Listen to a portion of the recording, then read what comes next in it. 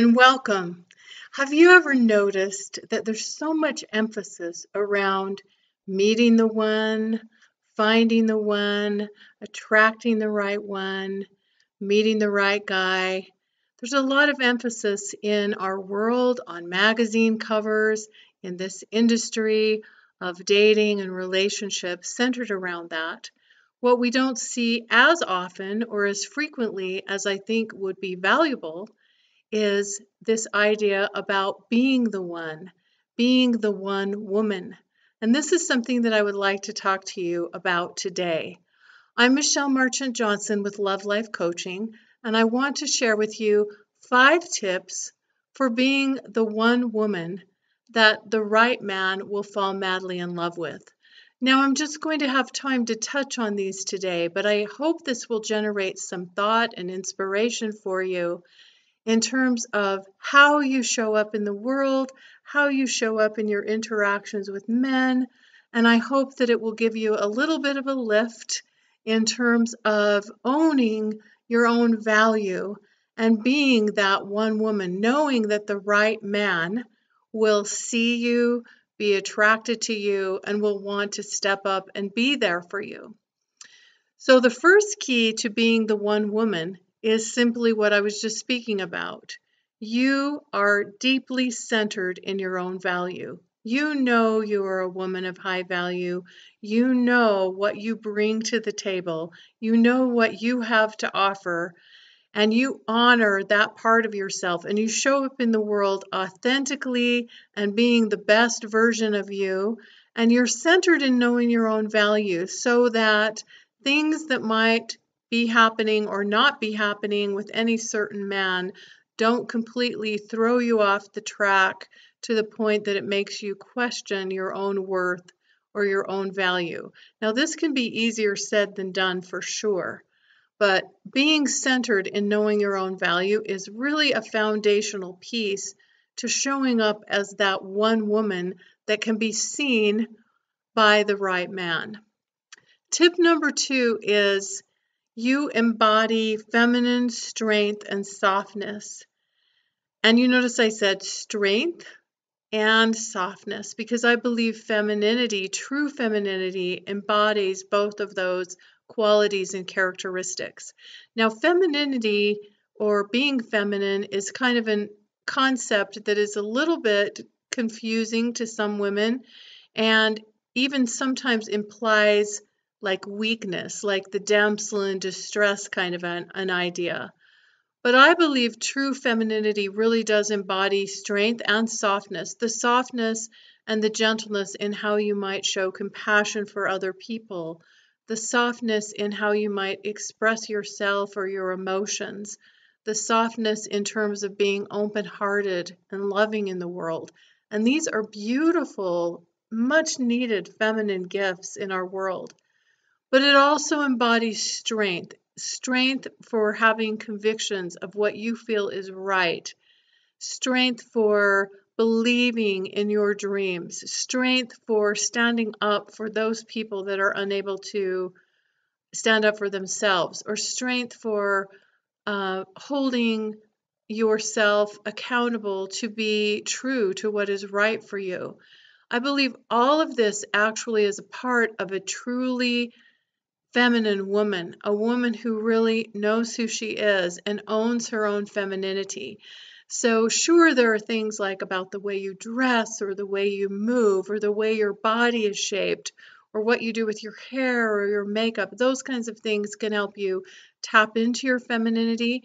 But I believe it goes much deeper than that. Like it's a, it's your essence, it's your true essence, and it includes and embraces all of you the strength, the softness, the fears, the dreams, the hopes, everything. And so owning that and possessing that and being an embodiment of that in how you move through the world, I believe, is part of being the one woman that can be seen by the right man. This is not about being attractive to every man out there. This is about being inviting and attractive to the right man, the man who will resonate with the true essence of who you are. The third tip is you set and maintain standards and boundaries that are right for you. I believe as women, we are blessed with gifts, and one of those gifts is what we might call feminine intuition. If you say it in a little more raw way, it's like that gut feeling. But most women have a really good internal guide about what is right for them, what feels good to them, what makes them feel like they're being true to themselves, to their values, to what's important to them. And it's really important as you navigate through the world that you create standards and boundaries around that, meaning that if a man or if someone is pushing in or leaning in on your boundaries or doing something that doesn't feel right or good to you, you have the strength and the confidence and the conviction to uh, let that person know what would work better for you. You can do it in a nice way initially, unless it's something really egregious. And you let this person have the opportunity to make an adjustment or adapt. I've been interviewing so many men lately because I'm preparing for another upcoming man panel series, which many of you may have participated in in the past. But I have an all new series coming out. And one of the things that's coming forward really clearly from these men, there are always themes that show up. One of the themes that's showing up is how most men, most good men out there who care about women, really do want to please you. And they need to know, they need our help to know in many cases what that would look like. Because there is some confusion around what women want, and that's not always the same for every woman. And these men, these good men, they don't want to, you know, push the wrong buttons. They want to show up in a way that supports you, but sometimes they need a little bit of help around that. So sometimes that has to do with being able to uh, express our wants, needs, and preferences. Sometimes that has to do with setting a st- standard or a boundary. And when you are willing to do this, it's actually really sexy because it sets you apart from those women that just kind of go along to get along or who pretzel themselves into being who they think a man might want them to be. So when you're clear about what feels good to you and you're able to express that by being in touch with your own internal guide, this is one way that you can be seen as the true version of you, and the right man is going to resonate with that. He's going to resonate, resonate with who you are. The next tip is that you truly love and respect yourself.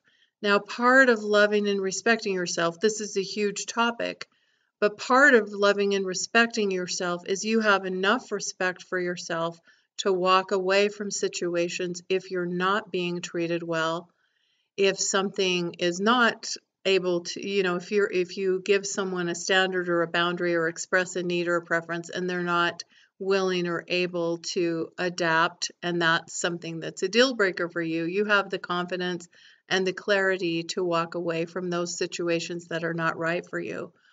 Part of loving and respecting yourself is that you are true to what is right for you. You make your decisions based on knowing your own value and you don't try to please everyone. You recognize the right person, the right man will be attracted to who you are because of who you are and because he can see that, not because you're trying to morph into or adapt into what you think a certain man might want. This is just a tiny little piece of loving and respecting yourself but that's a place to start. Um, the fifth tip is you accept and appreciate men. And this sounds kind of funny or kind of obvious, but here's a big secret, a very obvious secret. Men like women who like them. And so many men, as I interview these men, express how deep their desire is to be appreciated, to be accepted, and to have us respect them. Now, I absolutely believe that men should respect women. I think there's a huge need for that in the world. And in fact, in a recent interview I did with John Gray, he mentioned how important he thinks it is for men to respect women.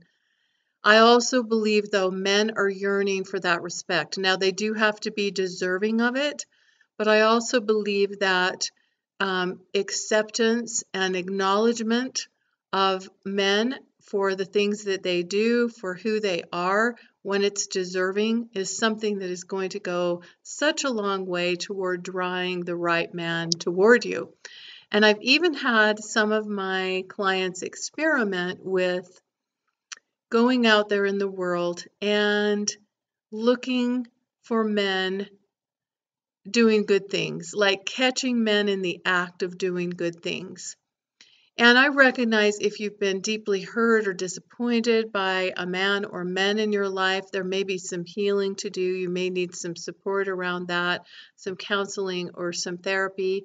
There may be a need for some forgiveness of uh, men in your life from the past. There may be a need for healing and support. However, um, and I absolutely suggest you get that if you feel there's a need for that. However, if you're finding that your general overall attitude or thoughts about men are coming up as being a little on the negative side, energetically it's likely that men you come in contact with or might date are going to feel that. And conversely, they're going to feel if you like, appreciate, acknowledge, and respect them. So these are just five quick tips uh, toward helping you be that one woman, that one woman that can be seen, appreciated, adored, and loved by the right man for you. I have so much more to say around this and will give some more concrete examples in future videos, but I hope this gets you thinking and I hope it gets you started. And remember, go out there, hold your head high, and remember that you are a woman of high value. And begin, if you're not doing it already, by making your decisions from being centered in that knowledge and knowing your own intrinsic value, no matter what is or isn't happening with any one particular man out there. I'm sending you love, cheering you on, and thanking you for joining me. Please leave a comment below, click the like button, and subscribe to my YouTube channel because I'll be producing regular content and I would love to have you join me. Thank you so much. Bye bye for now.